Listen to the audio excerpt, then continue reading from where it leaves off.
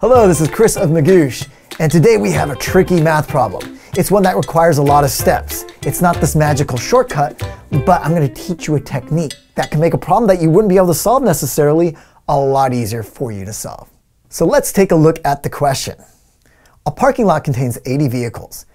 Each vehicle is either a car or a truck, and either vehicle is either red or green. 35 vehicles are red, and 60 vehicles are cars. If there are nine green trucks, how many red cars are there? Now, who just wants to give up right now and just skip on to the next problem? I sure as heck do.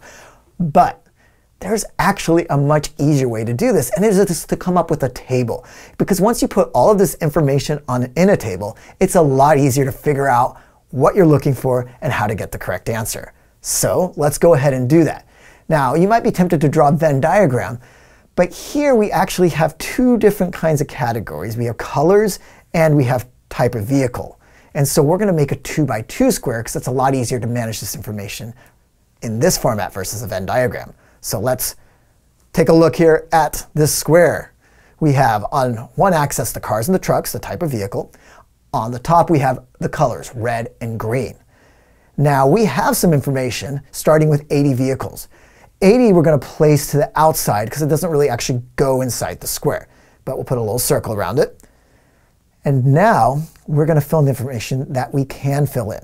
It says here that 35 vehicles are red. So outside of the square, but below the column that says red, I'm going to put 35. And then it says 60 vehicles are cars.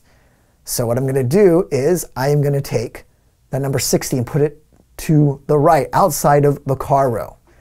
And then it tells me I have nine green trucks. I'm going to put that actually in the square where they're across from trucks and underneath green, the number nine. So now things are going to start falling into place. First off, I'm going to look at green cars. Well, we know there's 45 total cars. So if there are nine green trucks or total vehicles, there are 45 total vehicles. And so if there are nine green trucks, that means there have to be 36 green cars.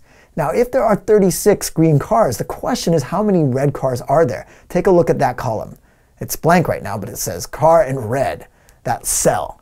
So when we look at that cell, how do we get the answer? Well, look across from 36 in the other direction and you see the number 60, the total number of cars. So we know that number in that cell has to be something that whatever that number is plus 36 equals 60. You can use some quick mental math or calculator and you will get the number 24. And just like that, you have the correct answer. And the reason that I say just like that is I challenge you, though you don't necessarily have to do this, to try to do this in your head without creating any graph or table. And let, trust me, it is pretty overwhelming versus the method I just showed you. So if you see this on this kind of question test day, it'll definitely be a lot easier.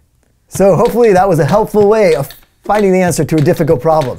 And if you want more helpful tips like this, click on the description below and you can see our GRE math tips. And of course, if you want more videos like this one, then check out the ones on the left and I will see you next time.